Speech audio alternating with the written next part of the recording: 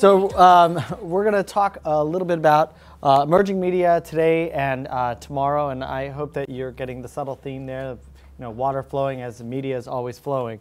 Um, well, just a little bit about myself. Um, I'm PR Newswire's Global Director of Emerging Media.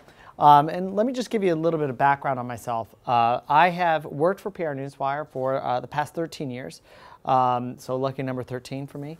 Um, and uh, for the last five years, I have been PR Newswire's uh, Director of Emerging Media.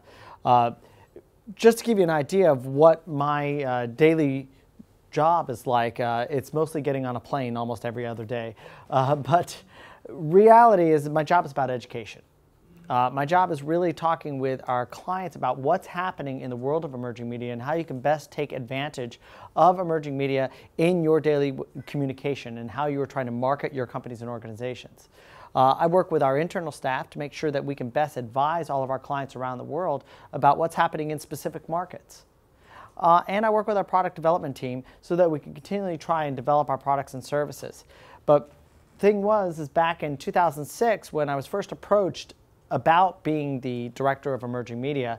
Uh, in reality, the, that wasn't the official title that, that was originally given. Uh, our COO at the time came to me and says, we need somebody who can talk all this Web 2.0 stuff.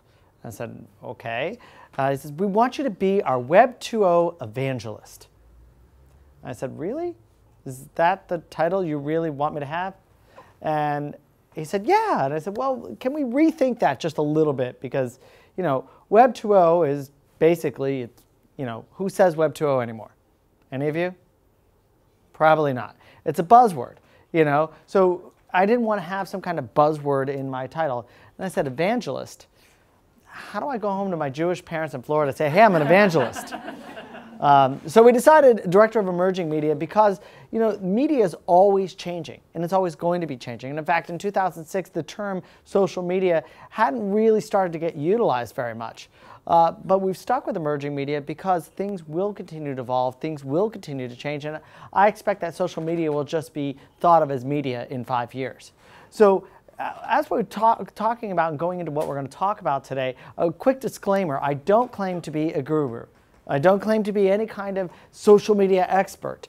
Um, it's my belief that there is no such thing as an expert, um, especially in the media world, because things are changing so constantly. The best we can do is be students.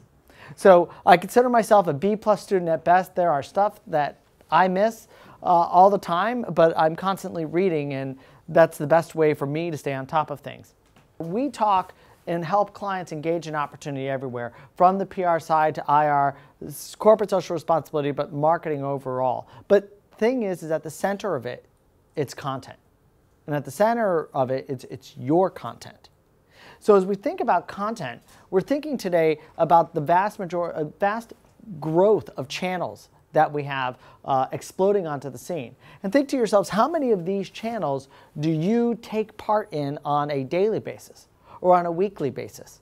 But it's not just the channels, it's also the audiences that are changing and expanding. You know, five, ten years ago, we didn't think about bloggers.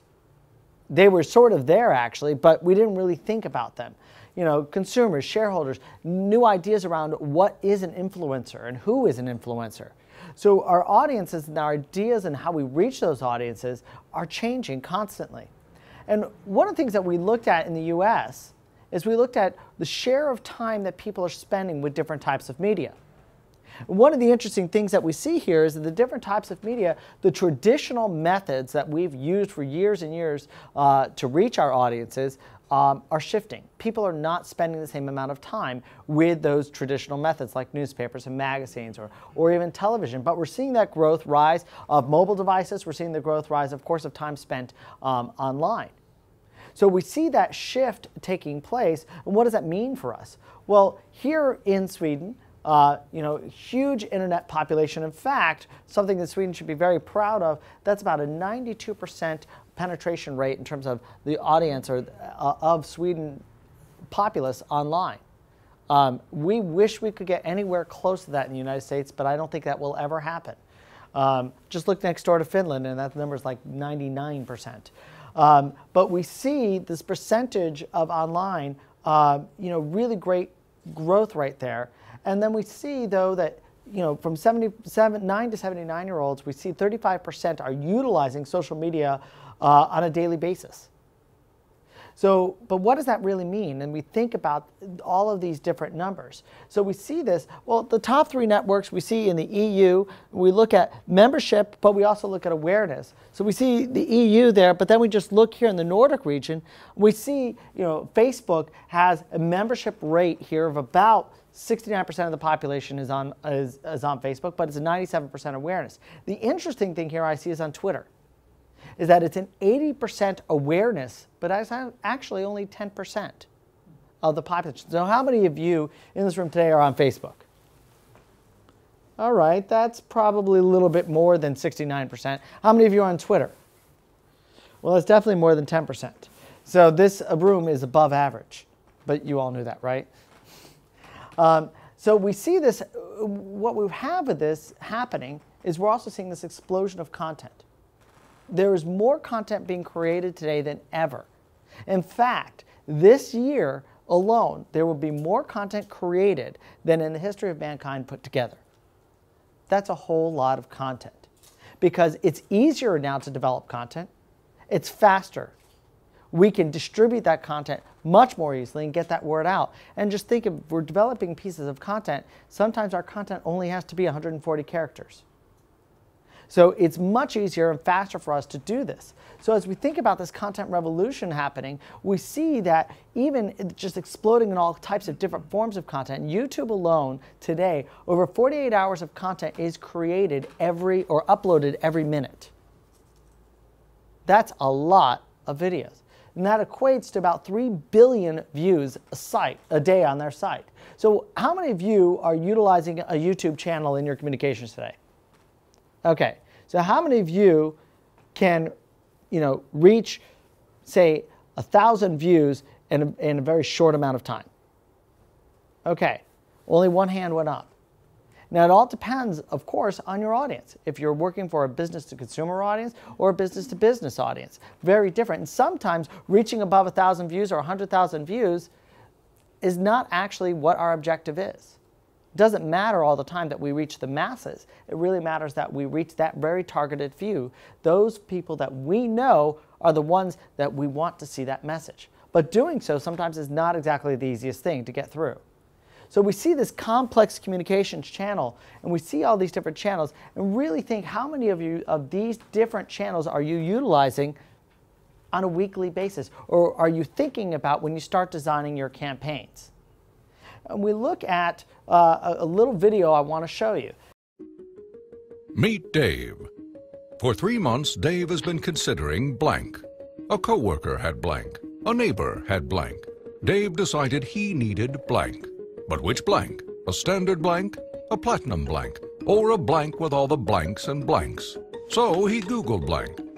1,267,043 hits just for blank. Over 1,900 reviews. Not all good, but mostly good. Over 400 people reviewed Blank on YouTube. Several videos showcased why he shouldn't buy Blank's Blank, so he crossed that one off the list. He found 65 blogs comparing all the blanks. He thumbed through four of them, and finally narrowed it down to blank and blank. He posted a note about blank on Twitter. 14 responses within two minutes about blank. Come to find out, his uncle and a friend of a friend had blank, the same blank his neighbor had. Go figure. So later that week, he asked the neighbor. Best blank of the bunch, he responded. Meet Dave and his new blank. He loves his blank. Blank loves Dave too. A note came in the mail saying so. Here is Dave and his blank on Facebook. 189 friends see him and blank every day. Dave just joined 28,045 others on a Facebook group who also love blank and is helping organize a local blank fest. Pretty good for Dave. He tweets about his blank. 89 friends see how much blank has made his life easier every hour. Sometimes blank even tweets him back. He has recommended blank to eight friends this week, not including the two random people in the elevator and the tall guy wearing the pea coat at the bus stop. Dave has posted 58 thumbs up about Blank and has been blogging about how Blank just gets it. That's why he convinced his sister in law to buy blank. She's so not a blank. Now she loves her blank. And they're both considering getting another blank. In one week, Dave will have touched over 435 lives recommending blank because he is an advocate of blank. Wouldn't you want Dave talking about your blank?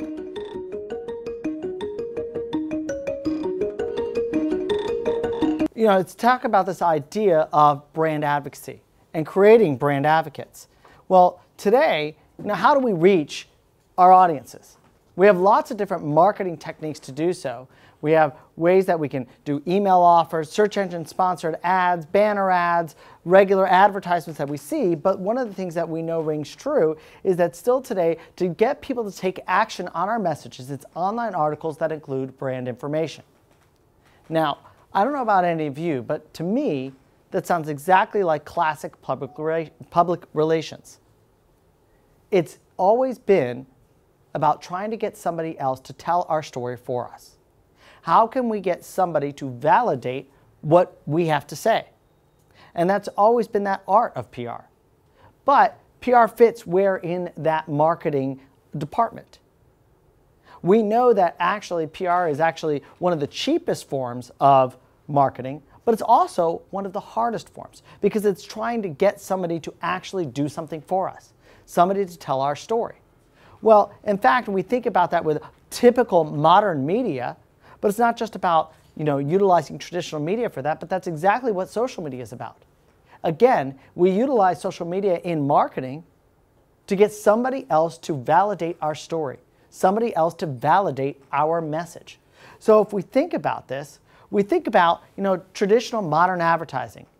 Now, if you all remember the Brooke Shields ads from the 80s, the nothing gets between me and my Calvins, well, back in those days, we averaged on seeing about 700 advertisements a day.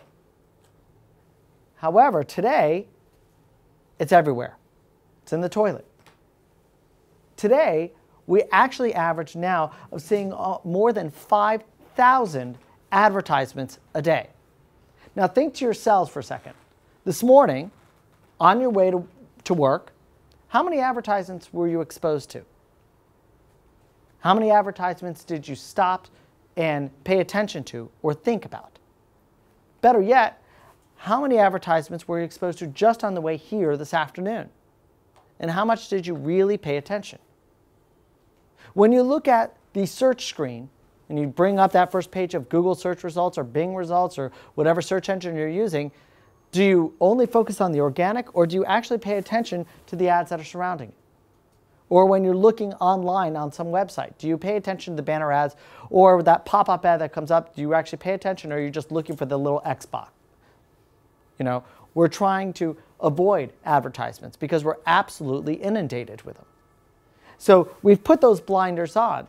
And that actually makes sense of why today more than ever online articles that include brand information is the best way to get people to actually take action on something somebody has validated that message. But the idea of what an online article has actually changed. It's not necessarily our traditional publications. It's often sometimes maybe a tweet from someone we trust, someone we've seen speak at a conference, someone who we have said, I want to follow. Maybe it is a message up on Facebook, or it's a blog post that we read. So the idea of what that online article has shifted.